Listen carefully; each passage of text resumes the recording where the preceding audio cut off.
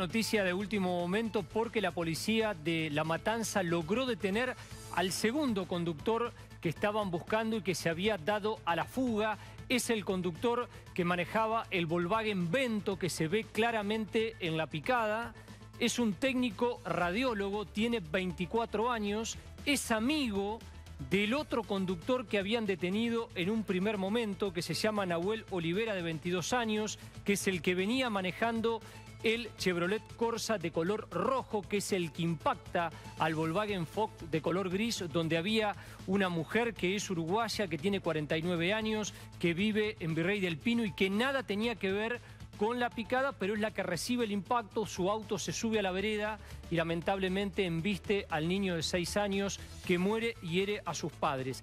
La policía de La Matanza lo encontró a este conductor, que era el segundo que se estaba buscando, en la calle Juan Cruz Varela, al 2900, en Villa Luzuriaga, también partido de La Matanza. Repito los datos, 24 años, técnico radiólogo, la patente del auto es la que se ve en el mm. video de la picada, es JZA 958, el auto es color champán y en este momento lo están llevando hacia la Fiscalía del doctor Garante, donde van a declarar. Ahora, la pregunta es, ¿qué es lo que se va a hacer ahora? Nos decían desde la Fiscalía, van a pericia mecánica, a pericia accidentológica para ver si hubo contacto entre los vehículos y por otro lado se está testeando con los testigos y con las cámaras de seguridad para ver cómo fue la secuencia. ¿De qué se los puede imputar?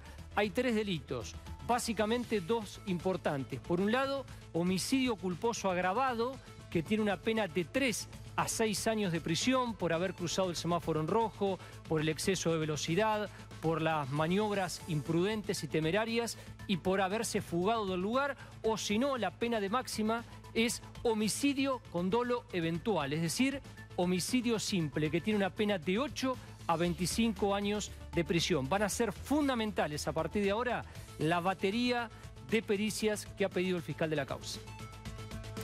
Están todos detenidos. A ver, la duda de la investigación, Dominique, si vos miras bien la secuencia del video, en la ruta 21, se ve el Vento que va a la izquierda, el Corsa que va a la derecha y detrás se ve un BMW de color em, amarillo, donde, bueno, la duda está si el BMW también estaba participando la picada. Pero el video que estamos observando desde la mañana es una secuencia de 200 metros antes del lugar del accidente. Por eso hago hincapié y remarco muy bien esto.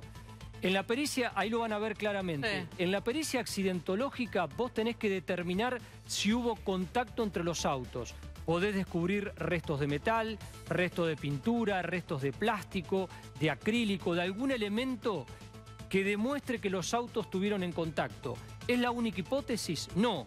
Podés ver también una maniobra donde se produjo una encerrona, pueden haber tomado contacto con los neumáticos, puede haber existido alguna dificultad en la cinta asfáltica, una loma de burro, puede haber un, pozo, puede haber una, una deformación del asfalto. Bueno, todo eso se estudia en la pericia y se llega a la conclusión de por qué el del Corsa pierde el control, impacta contra el auto de la mujer que estaba estacionada en el semáforo que estaba en rojo y es el auto que se desplaza. ¿Sabés lo que veo y con esto te cierro? Dale.